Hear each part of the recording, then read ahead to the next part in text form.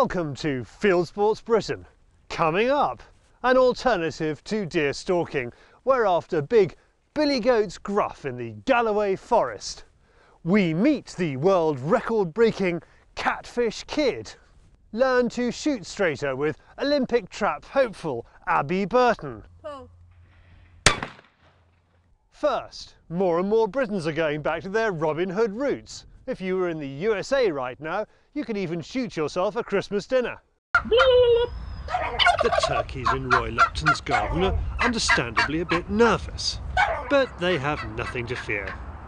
If they were stateside, however, it would be prudent for them to lie low this side of Christmas as they're popular sport for bow hunters in the USA. Hunting anything with a bow in the UK is illegal. This came into force through the Deer Act, which regulated the velocity and grain weight of a projectile used to shoot deer. It did a great job stopping irresponsible undesirables from injuring animals with crossbows, but Roy feels it was a shame we lost one of our traditions as well. When the, the law came into force, we lost, um, you know, part of our heritage. I feel so. Uh, unfortunately, now we have to, to travel further afield. It's a an incredibly popular sport in America. Uh, that's got a, a, very large following, and also in Africa as well. So when I when I hunt, I, uh, I, I go off to Africa, and that's where we practice it. Roy's been going to Africa to bow hunt for 10 years now. He tends to shoot small game such as impala and warthog. He feels that the work he has to put into getting close enough to take a safe shot makes him a better all-round hunter. It's, it's a fantastic way of hunting because when you're out there and you're in the bush, it's very, very different from, from rifle hunting, from rifle shooting or stalking, because you've got to be a lot closer. I mean, most of the shots that we take are around about 30, 40 yards, um, just to make sure that you're, you, you know, you're accurate and that you're taking a, a clean kill and you're, you're ensuring best practice for the animal. So everything's a lot closer and a lot more personal. So you're, you're, if you like, you know, you're feeling the animals, you're sensing the animals, you're smelling them, you're hearing them, um, and it's, you know, it really, really gets the, the senses going. So for me, I, I really I love my stalking and enjoy my my shooting, but uh, bow hunting just takes it to a different level. Roy either stalks on foot or sets up in a hide near a waterhole. On this occasion, after many hours lying in wait, a warthog appears on the edge of the clearing. He's spooked, but he comes back for more, and Roy takes his chance.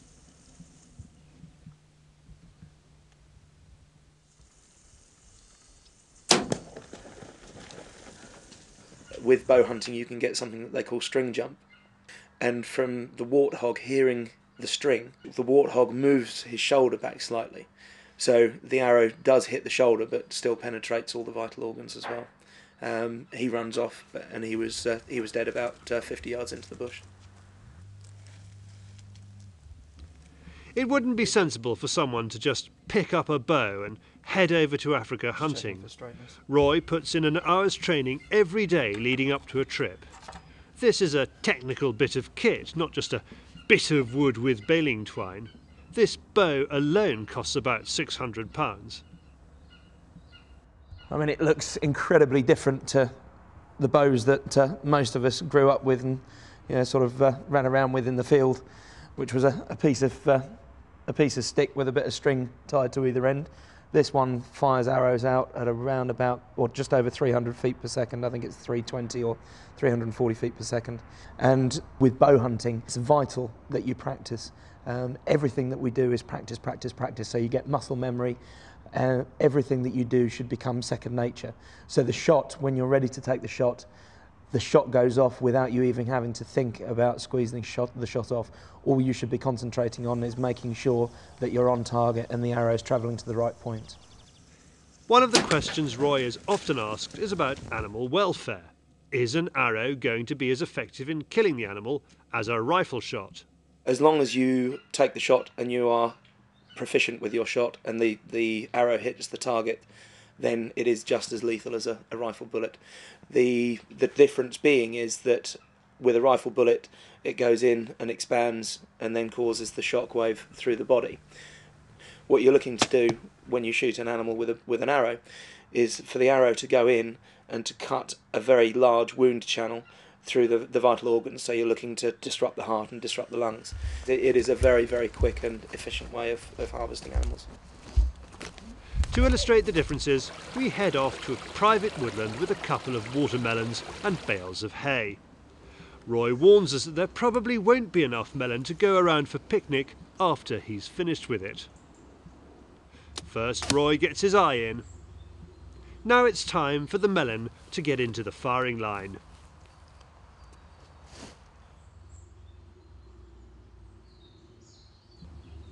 It's a great shot.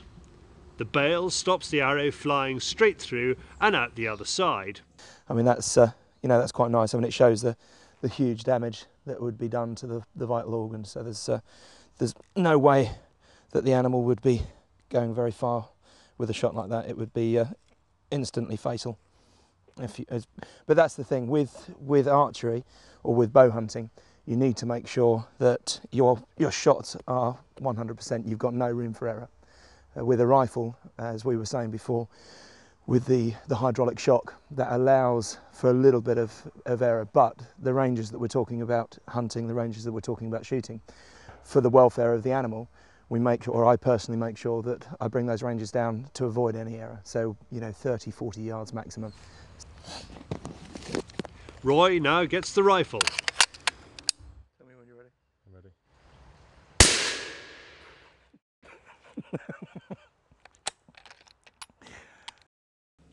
This slow-mo shot gives us a wonderful illustration of what the impact of a ballistic tip bullet can do. If you'd been using a, a soft nose um, bullet head, then it would have gone through and then created a, a big opening at the back. But I just wanted to see what a, a ballistic tip would do. But again, it shows the damage that can be done to the carcass as well. So with the arrow, you don't get, or you hardly get any wastage. Um, whereas with a, a rifle bullet, then if you're shooting into the shoulder region, then it can damage a lot of the shoulder meat, etc. I mean, it, again, it's not the meat that you're you're losing there is is nothing significant, but um, you know it is a, a big difference or a vast difference with the carcass. So there we have it. Bow against rifle. They offer two very different styles of hunting and two very different but effective ways of taking down your quarry. But as Roy has shown, if done properly, the bow can be equally as deadly. What do you get the shooter who has everything? We ask the experts. Well, if he's a keen rifle shooter, um, there's many accessories that one could buy, but I mean, I would look at things like monopods, uh, shooting bipods, uh, anything like this on the on the rifle side. They're pretty well cover their sort of 15 to 25 pound items. So, uh, if it's a shotgun shooter, I would say things like the Peltor earmuffs, some of the stereo earmuffs that we offer that we bring in from America which go up to about 29.99 as little as that um, Are those the ones where you can't hear the bang but you can hear the beaters? yeah that, well they're the ones that you can actually hear what the other shooters are saying about you half half uh, way down the line but uh, you may not want to hear exactly what they've got to say but uh, when the gun goes off they automatically shut off. So uh, you know obviously you don't get deafened. So we've got those you may have to spend a bit more on 20 pound you know 29.99 and th- that would uh, perhaps keep your relationship sweet. And then of course you've got things like shirts and what have you and uh, gloves you know. So all those little stocking fillers and the shooter's essentials you know they're, they're going to be um, what he's going to be requiring one would hope. I would recommend the Eley Diary, the good old standby. Depending on who the shooter was, maybe a peg set, which is £19. There are a lot of small item, gift items you can pick up, which will make great stocking fillers. 20 quid presents, what have you got? 20 quid presents, lots of things like Buttolo calls, uh, decoy calls, decoys themselves, uh, lamps, etc. Y- you can buy a lamp for 16.99 from us. You know, you have a huge spectrum from bottom scale to top scale. Um, you know, y- you can buy filters for tenner, etc. You can buy camo jacket um, for, for 20 quid. A Um, camo jacket for 20 quid? Yes, you can. Yeah, yeah. We have anything from twenty pounds up to you know up to one hundred and fifty pounds for camo. But again, all good quality. Majority of it's now waterproof.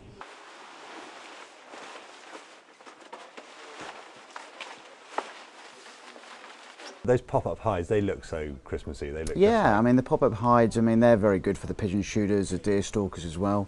Um, but uh, again, your pop-up hide you're going to be in the region of anywhere between 65 to 85 pounds. We do sell here uh, leather cartridge uh, cases, bags, also uh, shotgun uh, carrying cases, uh, and also we have uh, a leather brass and full zip uh, up and over shotgun slip as well, £100. If you bought one of the bar sets, which was a nice leather case, uh, three separate bottles inside, whether you wanted gin, sloe gin, whiskey, or ginger ale and Coca-Cola, whatever. It's a nice set. It's a nice gift. It will last probably forever, and he can give it to his grandchildren when he's retired from the shooting world. So I, I think the real must-have this Christmas for twenty pound is this hat, which is the hat to have this year. It's going to be so useful for the guy who's working outside. It has two strengths of light. Now we're on full power, and if you're working outside, whether you're a gamekeeper, whoever you are, out in the garden even, this is going to be the hat to have. What would you like from the shop?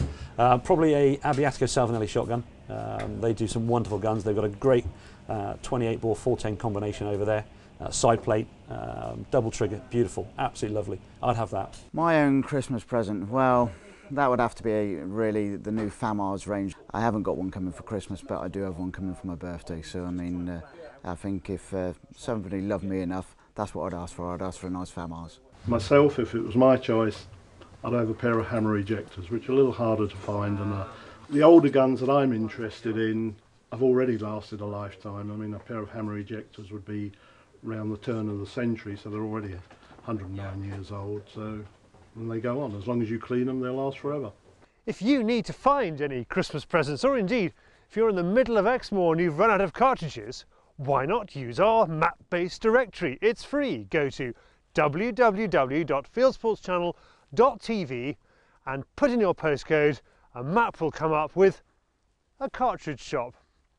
Now, you may have noticed over the last few weeks that the Fieldsports Channel official vehicle has been a Mitsubishi Shogun.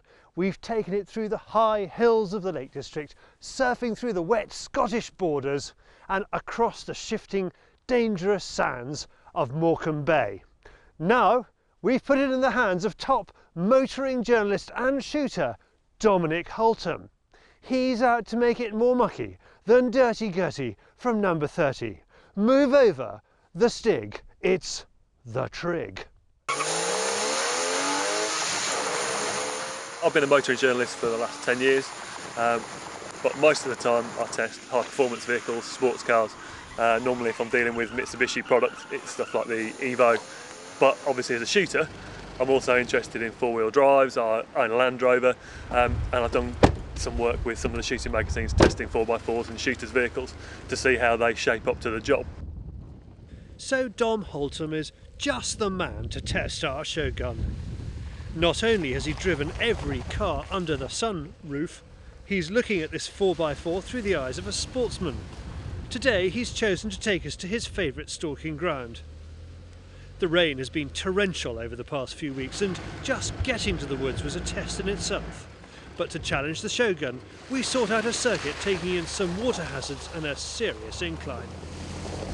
Okay, so we're uh, we're putting the Shogun through its off-road paces at the moment. Um, Mitsubishi has a good reputation for producing sturdy, reliable, rugged workhorses. Um, obviously, this is a, uh, a long wheelbase, five-door version, so it's not going to be quite as good over the really rough stuff. Um, but hopefully, as this film will show you, um, it's pretty useful at getting through the mud. It's got good wading depth. Um, it's got a low ratio four-wheel drive box, which means that when it gets really sticky, it locks up the centre diff. It provides power to all four corners, um, which helps us get through the trickier sections. Um, and to be honest, for a normal driver, it's really easy to do some quite serious off-roading, head up some serious inclines, as demonstrated at the moment. And really, it feels like you're driving to the shops. So if out of town shopping really takes you off the beaten track, this is the vehicle for you. Dom tends to eat a lot of what he shoots, so this patch of land is sort of his supermarket. For these particular shopping aisles, what is he looking for in a 4x4? If you're going to have a 4x4, I think it should have a proper four-wheel drive system. I know that sounds silly, but most modern kind of hybrid SUVs, uh, they have a four-wheel drive system which is part-time.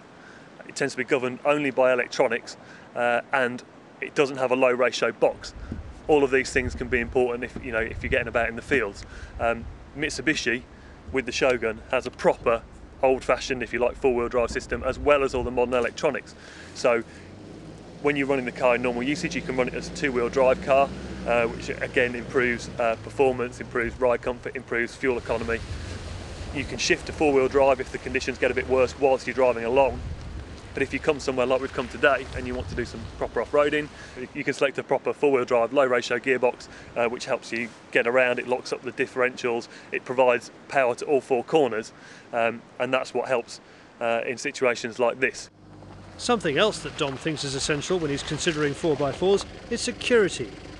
The kit we carry is expensive, but there's also a legal obligation to keep things out of sight. Uh, obviously, if you're involved in field sports, you might be travelling with uh, your gun, with ammunition, things like that, your firearm certificate. Um, you want to have a car where you can keep things out of sight. It's a legal requirement to keep ammunition out of sight. Uh, so you'd probably be looking for things like cubbies, lockable uh, storage areas, things where you can put things out of the way, put a box of bullets, you know, put, put your certificate, keep it safe, keep it dry, keep it out of uh, the way of prying eyes. The Shogun is not just a workhorse, it has an exec feel too. One of the most sensible executive benefits to have in your modern day 4x4 is the ability to breathe life back into your nether regions. Well, you know what it's like. You've been out shooting or fishing all day long, you've been soaking wet, freezing cold. There's nothing better than to be able to get back into a nice, cosy, warm car with decent air conditioning and, even better than that, heated seats so you can warm your backside up and dry your clothes out. So what else do we need to tick off for a 4x4 to cut the field sports mustard? Space? Well, if you're not carting around your mates, you'll be carrying back your bag with the addition of a dog or two. A dog or two? There we go. Okay, so we've come to uh, test the versatility of this shooting vehicle by coming here to Songlier Chocolate Labradors to see if we can get a few gun dogs in the back.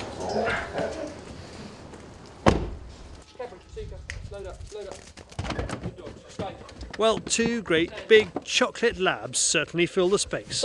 There's probably room for a litter too. Stay. Now, Dom is not just a shooter, he's also an angler. Here he is contemplating the question that everyone heading for a riverbank finds themselves asking Will this blooming rod fit in the car? So it's a little bit tight for room, but that's an 11 foot fishing rod straight through, no worries at all.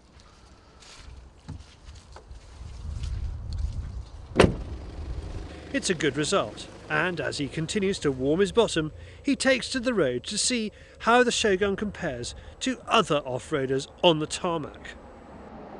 It's not bad. The, uh, the diesel engine's quite punchy. Um, the automatic gearbox is quite smooth.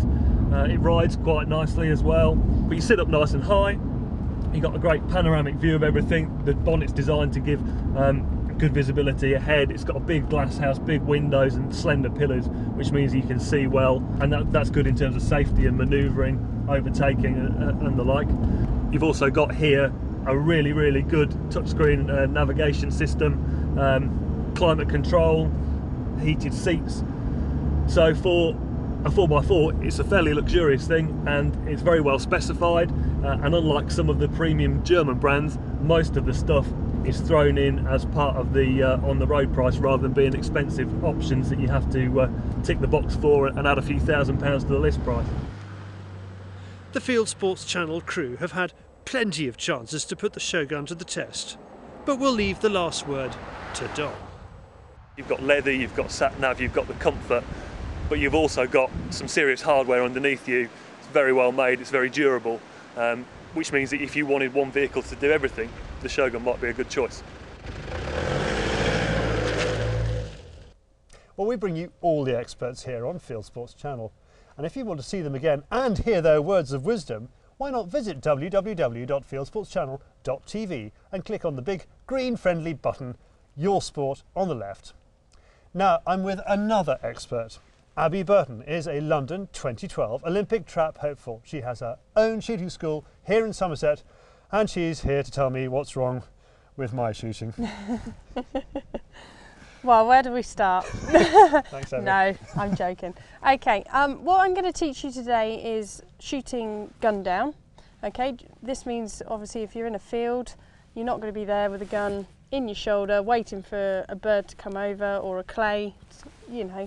Um, You do. You see people standing like that a lot, don't you? Do you actually see? Yeah. Have you seen people waiting in the field like that at a pheasant shoot? For, Um, I haven't, no, but I have seen a pheasant in the distance coming, and they're there ready for it straight away. Which my arms would ache by the time that it approached the time of shooting. it's a lot more relaxed, isn't it? And it's, Yeah. it's more classic. Yeah, it's it's, it's tradition, um, and it, it also doesn't ache your arms so much throughout the day because guns could be quite heavy um, the further you go on. But the problem is you've got to go from there to there, Yes. and from there obviously back Yeah. down to there. Yeah, yeah, that's right. That's, That's, the bit right. to learn. Okay, Charlie, what we're going to do first of all is I'd like you to pop your glasses and your head protection on, okay, before we get started. I'm then going to go and grab our gun.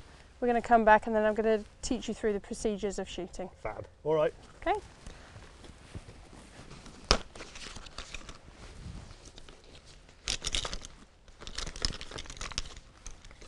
Gun's empty and perfectly safe at the moment. Thank you. Okay, this is one that we've used last week. Very good. Um, stance and foot position. Okay, you're going to stand so that you're going to actually be breaking the target roughly around about up there. Okay. Okay, so stand so that you're nice and comfortable. Yep. Hip distance apart. Okay, you don't want to be too wide. That's it. Good. Yep. Gun's perfectly empty. We're going to practice first of all without going live. Yes. Okay, so you're going to close the gun for me so it's pointing down range. Pop it up into your shoulder pocket just so you get nice and comfortable. Good. I'm going to just release a target now. Okay. So it's coming from over the back of that bank just there. All you're going to do is just follow it with the end of the gun. Just follow it up to the top and that's where you're going to pull the trigger. Okay. Okay, gun now comes out of your shoulder, lever across, pull the front down. I'll make sure I catch cartridges so that they don't come flying out. Highly trained later as well. Okay, Fantastic. that's right, there we go. Just don't chuck my fingers in it as I go to get them, okay? no, that's fine. Right, now what we're going to practice is actually shooting with the gun down. Okay. All right. Starting here, you're going to close the gun for me so it's pointed down range. So close it up. You're actually going to start with the gun here. Ah. So the gun's perfectly up in the air. So if that was to go off now, Yep. It's not going to harm anything or any earthworms down below. okay. As the clay appears over the bank, you want your bead so that you can see it coming. If you have your gun too high, it becomes an obstruction. Okay. Okay, so just make sure that you can see the clay appear over the top of this barrel. Mm-hmm. Okay, as the clay comes out now, you're going to practice mounting the gun. Now, this front hand pushes up to the target, just like you're pointing at it. Yep. Okay, it's going to come up into your shoulder. You're still following the target at this point. Okay. As it reaches its peak, that's your cue to pull the trigger. Bang. If you want to, do you want to practice that one with Give a it- live one? I give it a go? Yeah, of course Yep. you can. Right. So start here with the gun. Yep. Here comes the clay. Onto the clay, move with it, Bang. bang. Lovely. Lovely. Okay. that one actually. And then lever across and unload. Well done. And you're there to catch them. Fantastic. And I'm there to catch them. Okay? Right. As you see its peak, I'd like you to just shoot the bottom right hand corner. Okay. The, Okay. The, the, the leg underneath. The legs, that's it. Right. Okay, close the gun. You're going to tell me when to shoot. I'm going to tell you when to shoot. So start by the hip, gun not too high. Yep. Excellent. Okay, here it comes. Lock onto the target, move. Okay, you're still over the top. Yes. So this time you're gonna. That's okay. At least you're consistently somewhere. Yeah. Good. Move with it. Bottom right. Go. Brilliant. That's it. Gun down. Lever across and unload. Is it? Fantastic. Brilliant. Gun mount was lovely. You were on it. You pulled to the right hand side. The result being a kill. Because when we're, when we're um, uh, watching you shoot, I mean, you, you have your um, uh, your cheek buried right into it, and Yes, I do. Yeah. Everybody. Hmm. everybody has different styles for different things. Because I shoot a lot of trap, um, it's designed as a very. Uh, you've got a stationary stance, and you're shooting birds that are within 45 degrees. So as long as you're locked in Mm-hmm. and stay, you know, nice and stable and well balanced, that is the main stance for a trap shooter but that won't necessarily work for pheasants. won't necessarily work for um, i mean sporting shooters are, are different as well Yep. um, they're designed that the gun should just touch the cheek Mm-hmm. as and should come in line perfectly Um, if you actually watch me shoot game and shoot trap, I, I have actually two very different styles. So if you have a bad pheasant day, that doesn't mean to say you're you're not going to have any No, chance at the I- that's, that's different. Okay. You see, it's great for someone like like me to be able to talk about advanced shooting with with a potential Olympic shot. Yeah, shot. no, I hope to be. I hope to be, and um, yeah, no, it's one of my one of my dreams, and I think, you know, hopefully it'll come true. Oh, you'll get there. Brilliant, Abbey. Thank you very much. No, thank you very much. Nice to meet you. Abbey Burton. Glad she's on our side. Now, we're off to Scotland to try and shoot something very unusual. We're on an estate in Galloway in southwest Scotland. Nick Laters is striding onto the hill, a rifle on his back. But Nick is not stalking deer. Oh no, he's after goats. Uh, Kevin, the, the stalker, he spotted them up, up there, t- t- t- two uh, parcels of goats up on the hill, and uh, we, we set off after one. There was a real big black billy, and uh, basically we got to within 250 metres, uh, going for the shot, but it, the way the wind was and everything, it, I think it was pushing it a bit too much, so we decided to go across to the other, other side, and we saw the big grey one, which I always wanted, really wanted to shoot a grey, a grey goat. So Is, is this a is this a decorating it must be, yeah. reason? I just like I, I just like the colour. You've got grey walls at home or grey carpet or something. I something think like it that? matches what's coming in my hair, to be honest with you. Nick is a joiner by trade. His stalker, Kevin Gibson, used to be a joiner. Now he has a better life. Well, we just basically spotted them from the forest, made our way up through the forest to the edge of the hill. Then we got downwind of them and followed them up, up a gully. Uh, got round about them. First group were wrong side of the wind, so we didn't get a shot on them. There was actually a, a better billy in amongst them. There's uh, there are actually too many of them at the moment. We've got to call them from time to time. Uh, the Forest Commission tend to see them as a pest, we tend to see them as an asset to the estate because we've got some pretty good heads. People are prepared to pay to shoot a trophy goat. They're just living out like the deer, they're living off the heather up in the hill. Do they do much tree damage? They do quite a bit of tree damage, but they're uh, we're sort of fenced to sort of three feet, so they don't come onto our tree. They go onto the commission side. So, but they just need to put a fence up. That would solve their problem. I'm told they, they go back to Viking days.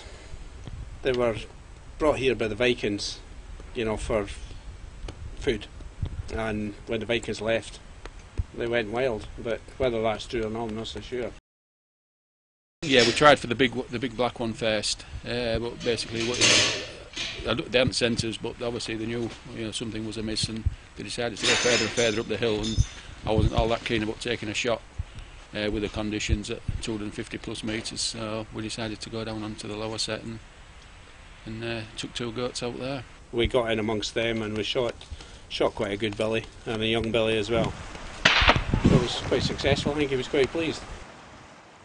The first one it was wasn't going down, so obviously I reloaded and uh, I whacked it again, and and it, and it went down. Uh, but the second one, uh, first shot kill, uh, excellent. Yeah, about 130 yards, I think, something like 130, 140. So yeah, over the moon. Nick explains the tools of this job. It's uh, Sako 75 in 6.555. It's moderated, yeah, with a T8. Yeah, and they're my home loads as well, 125 grain Noslers. Uh, they're, it's a good bullet. It's a Zeiss, 3 to 12 B56.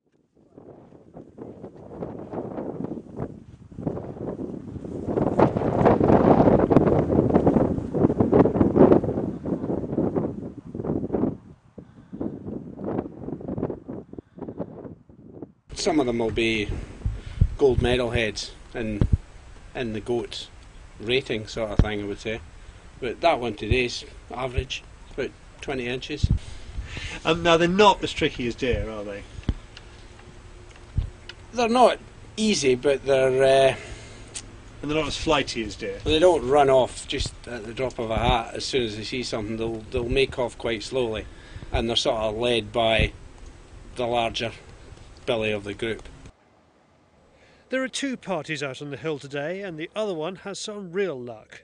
This is a silver medal head under Safari Club International's measuring system, and it's in the top couple of hundred heads shot in Britain. The goat carcasses don't go to waste.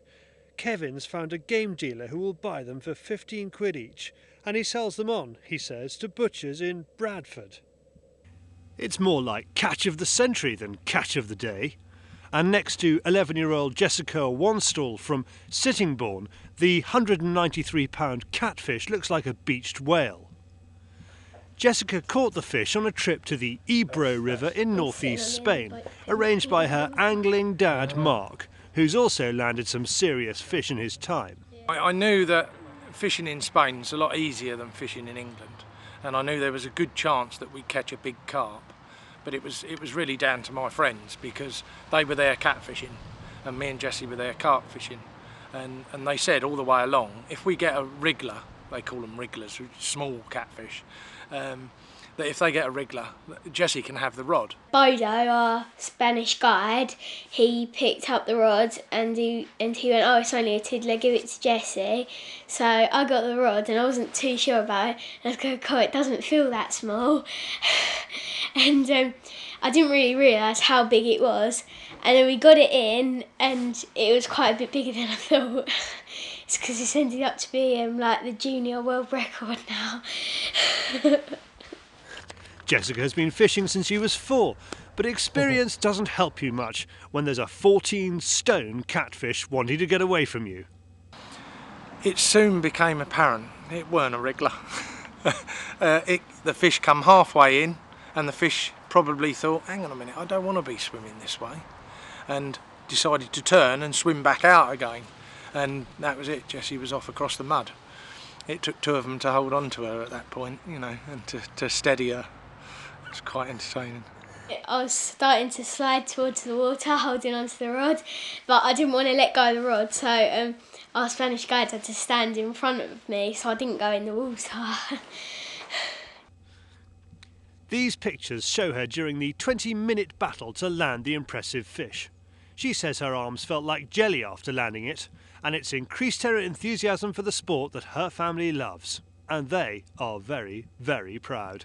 Oh, my dad would just be over the moon, you know, absolutely. Well, just, I could, you know, you couldn't describe it. Me, dad, uh, me, Chris, Chris, the one that was there in, in Spain, me, my dad, and Chris, we went all over Europe fishing, and you know, bless him, he would have, uh, you know, absolutely loved it, you know. And that's the place. Jessica could tell her dad was really chuffed, even though she beat Mark's own record. Dad was just laughing the whole time, really, because he, he, he took me out there and he wasn't really fishing, he was sort of taking me out there to fish, and he, he was really happy that I got that one and it beat his record. According to the International Game Fishing Association, Jessica has set a world record for a freshwater fish caught by an angler aged 16 and under. Her catfish easily outweighs the previous record, which was a 120 pound Nile perch caught at Murchison Falls in Uganda. Even with her ability to land the big fish, Jessica says she still gets more fun from catching small roach in the waters back home. It's a different trip.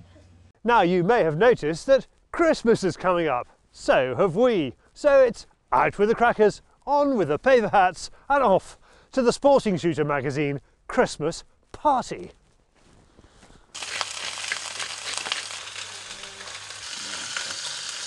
Right. And we're just trying to get that colour up, that golden colour up, then we're going to roast them. We're going to roast them for 25 minutes, and then we're going to let them relax for another 20 minutes. And it's the relaxing that's really key, yeah? It's all down to cooking time.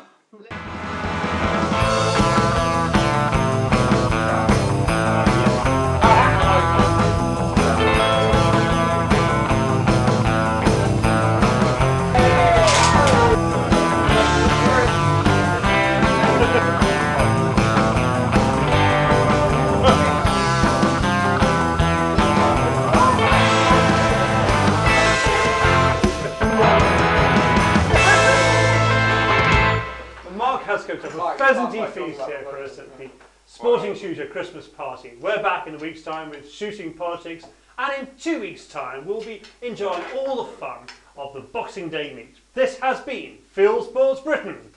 and a partridge in a pear tree.